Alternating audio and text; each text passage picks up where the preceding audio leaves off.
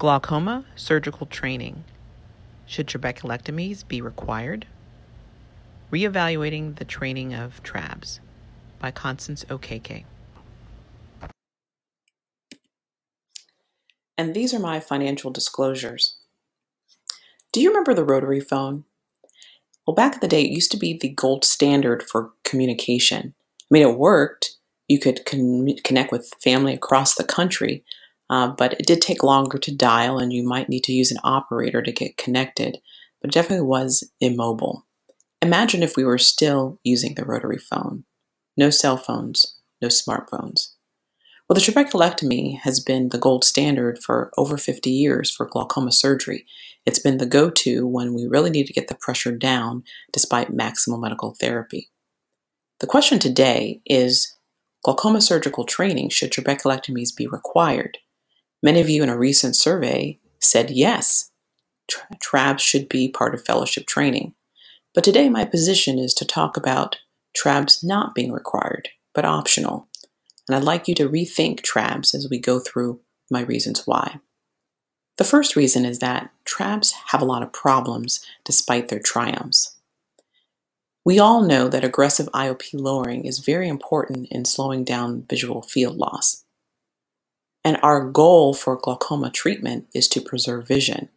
But you and I both know that glaucoma trabeculectomies can cause a lot of complications, and those complications are often vision threatening. Even when the trabs work really well, like in this study, where trabs were compared to tubes, and the trabs in blue showed a much lower IOP with less medication than tubes in orange. But at what cost? In the first year, up to 20% of patients lost greater than or equal to two lines of vision, and up to 40% at five years. The complication rates were also high at over 40% of either early or late complications. The laundry list of complications with trabeculectomy surgery is exhaustive, and both you and I have likely had experiences with sleepless nights because of something on this list with our patients that we were trying to do no harm. Also, trabeculectomy is associated with less quality of life and less patient satisfaction because sometimes the eye doesn't feel good with bleb dysesthesia or increase in ocular surface disease. We need to move forward and let go of this rotary phone in glaucoma surgery so we can find the smartphone. The number two reason is that we also have options, other options that we need to nurture and that we need to allow to evolve. It started, uh, we're in a glaucoma renaissance that started in the early 2000s. Tubes are replacing trabs. With a TVT study, we learned that tubes can actually be even more effective than trabeculectomies. And then over the last decade, we've been going through this explosion with microinvasive glaucoma surgery because we want safer surgery that's also effective. And these MIGS procedures are showing to be effective, like the Gonaianos procedures with the GATT. In this two year study, it was found that patients who had primary open angle glaucoma had a 37% uh, reduction, reduction in mean IOP.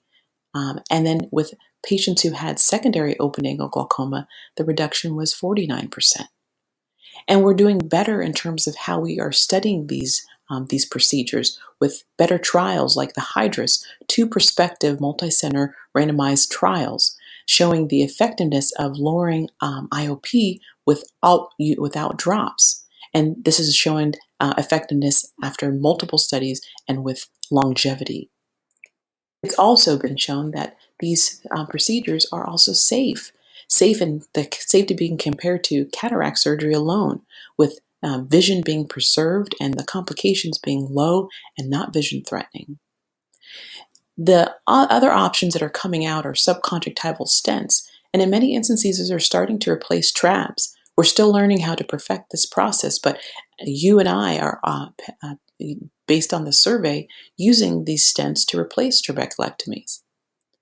SLT as a first line treatment is also going to reduce the number of surgeries being uh, performed.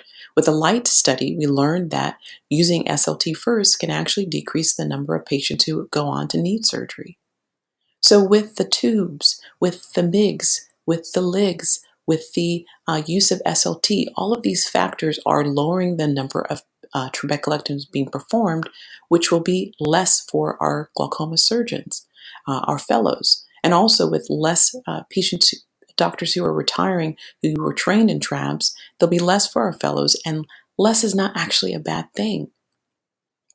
Because what would we do if we didn't have all that time and attention towards the surgical uh, learning or the postoperative management learning? We'd actually have time to focus on other important factors.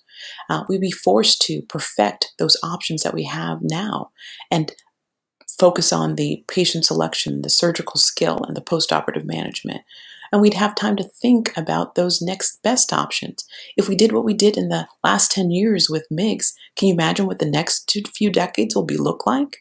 We need to be able to focus our approaches on finding mechanisms using newer technologies so that we can target our treatment. And then we'd also have time to focus on other ways to prevent severe disease, like the basics of awareness and education. We need to train our fellows better communication with between patients and doctors because patients are very um, uh, important in the role of preventing disease. We also can focus on increasing diversity because glaucoma is a disease that affects a large population of people of color.